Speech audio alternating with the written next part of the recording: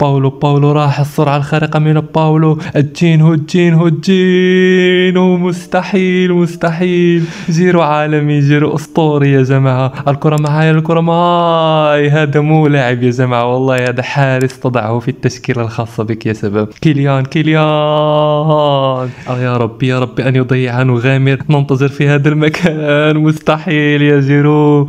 يا رب عليك يا جيرو. إذا كنتم السلام عليكم ورحمة الله تعالى وبركاته. كيف حالكم يا شباب؟ أتمنى أن تكونوا بخير وعلى خير. في هذا الفيديو سوف نقوم بتجربة واحد من بين أفضل حراس المرمى في لعبة ال FC Mobile هذه البطاقة قد طلبت مني بشكل مو طبيعي يا شباب في الفيديو السابق. معنا ومعاكم يا أساطير بطاقة الحارس جيرو.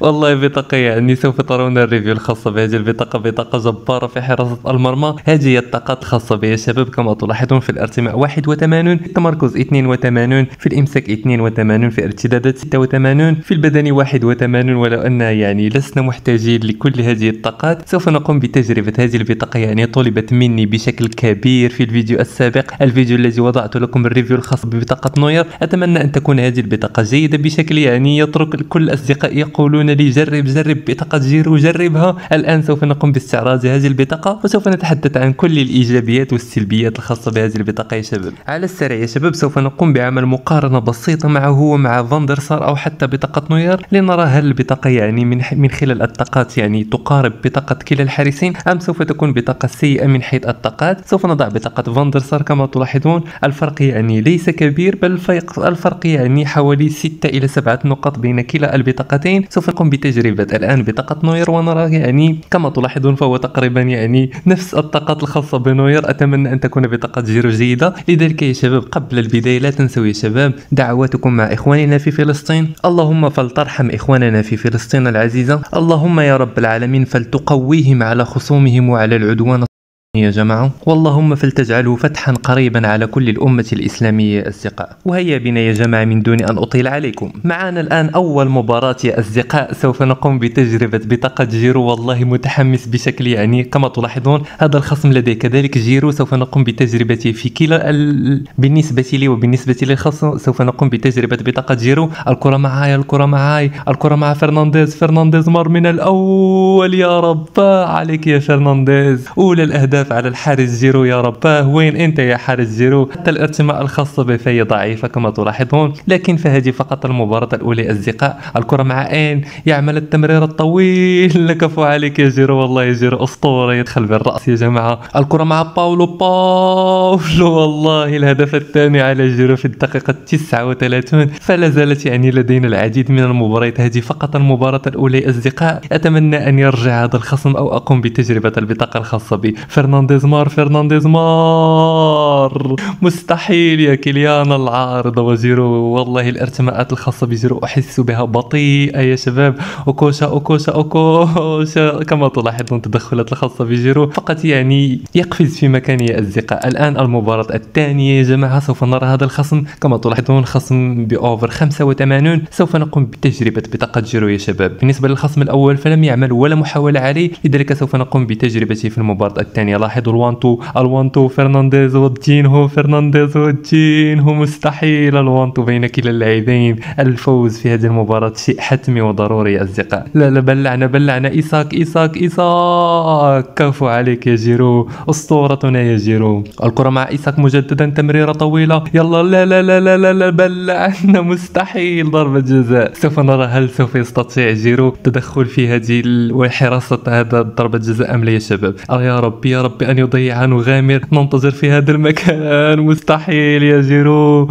يا رب عليك يا جيرو. إذا كنتم ترغبون في أن أعمل لكم فيديو حول احتراف ضربات الجزاء فلتكتبوها لي هذا هو عملاقنا يا شباب. هذا بمن نفتخر يا جماعة. والله مثله مثل ماغوير يا شباب. المباراة الثالثة كذلك. هذا الخصم يمتلك جيرو ب over 86 أتمنى أن يكون هذا الخصم كذلك أسطوري يا جماعة. كيزا كيزا ماذا تفعل؟ كيزا لابيتيت مستحيل يا جيرو. والله تصدى لها بأظافره يا جماعة. باولو باولو راح السرعة الخارقة من باولو. الجينهو الجينهو الجينهو مستحيل مستحيل. جيرو عالمي جيرو أسطوري يا جماعة. الكرة معايا الكرة معاي. هذا مو لاعب يا جماعة والله هذا حارس تضعه في التشكيلة الخاصة بك يا شباب كيليان كيليان. جيرو يا شباب عذبني في هذه المباراة. لكي أكون معكم صريحا هذه أفضل مباراة أواجهها ضد خصم يمتلك جيرو. الخصم كذلك الموالي ب over 88 ومعه بطاقة جيرو يا أصدقاء. هذا الخصم كذلك يمتلك هنري والظاهرة هنري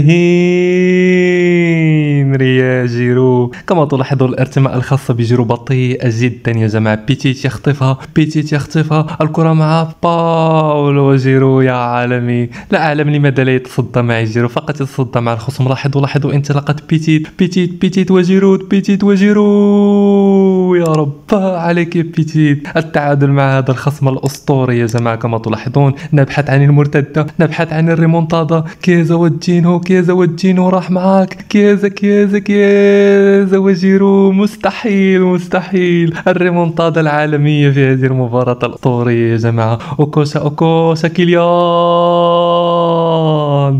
من واحد لصفر الهزيمة إلى ثلاثة لواحد. انقلبت المباراة يا جماعة والمباراة الأولى. الرابعة تقريبا مع هذا الخصم ب over 86 نتمنى أن يكون كذلك هذا الخصم أسطوري. أوكوشا أوكوشا راح راح موكوكو. هذا موكوكو سريع. موكوكو جيرو موكوكو جيرو يا رب عليك جيرو. والله هذا الخطأ يرتكبه ويكرره. ارتماء بمجرد أن تدخل الكرة إلى الشباك ثم يرتمي الحارس يا شباب. والله ردة فعلها بطيئة يا جماعة. أوكوشا أوكوشا أوكوشا وجيرو. في الحراسة ولو أنها سهلة يا جماعة. الكرة معاي أوكوشا أوكوشا إلى كيليان. كيليان نرغب بالتعادل مستحيل يا رب.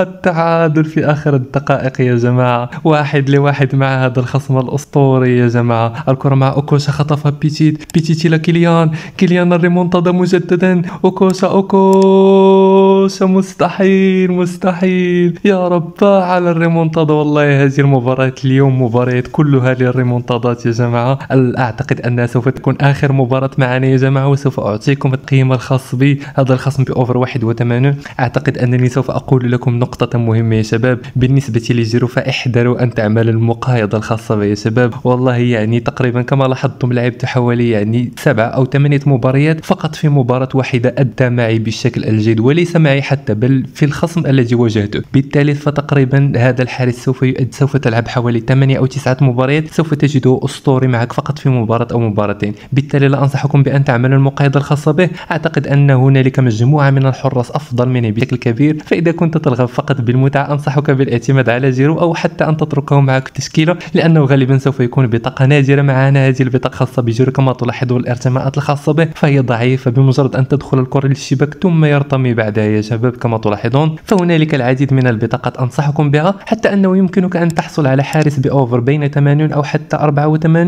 وتقوم بتطويره لكي يصل ل over 87 فهذه من بين أفضل الطرق من أجل الحصول على حراس جيدين كما تلاحظون الابو عرضيات والله لا ينتهون في اللعبة. أي خصم اواجهه لابد أن يبلعك العرضية لكن لا تقلقوا. كما تعلمون فالرد السريع. إذا سجل عليه glitch العرضيات سوف أسجل عليه ال glitch البينية الطويلة كما تلاحظون وسوف يبلع بسهولة تامة. هذا هو عقاب أبو جليتشات يا جماعة. لذلك ف يعني بطاقه جيرو لا أنصحكم بعمل مقايضه ولا أنصحكم حتى بالإعتماد عليه في المباريات. هنالك مجموعة من الحراس مني بكثير أتمنى أن يكون هذا الفيديو قد اعجبكم يا شباب لا تنسوا كتابة في التعليقات البطاقة التي ترغبون في أن أعمل عليها review القادم ولا تنسوا يا شباب تعليقاتكم وكذلك اللايكات الخاصة بكم والاشتراك في القناة لهذا لأن هذا هو ما يحفزني من أجل الاستمرار في وضع لكم الفيديوهات الخاصة بال FC Mobile وشكرا لكم على المشاهدة يا جماعة.